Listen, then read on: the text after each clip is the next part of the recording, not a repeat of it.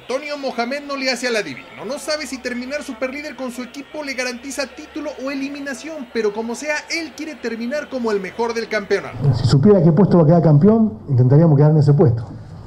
Eh, nosotros queremos quedar primero porque queremos ser los mejores y porque en nuestro trabajo nos preparamos para ganar siempre. Entonces, eh, después, eso si, si sucede eso, bueno, sucederá.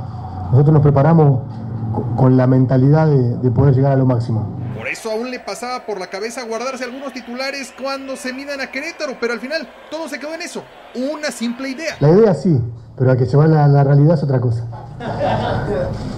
¿Eh? ¿Por, qué, ¿Por qué cambiarías ese plan que ya tenías establecido? No, no, no tenía establecido, era una idea que me estaba dando vuelta por la cabeza, pero vi que los jugadores se recuperaron bien, tienen ganas de jugar, así que van a jugar.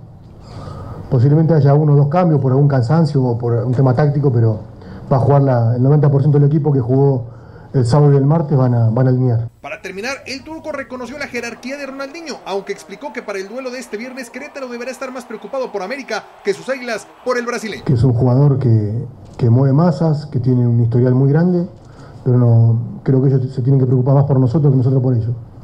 Esa es la, la realidad. Nosotros estamos en un gran momento y ellos necesitan eh, están urgidos de puntos, así que creo que tienen que tener ellos mucho más preocupación que nosotros.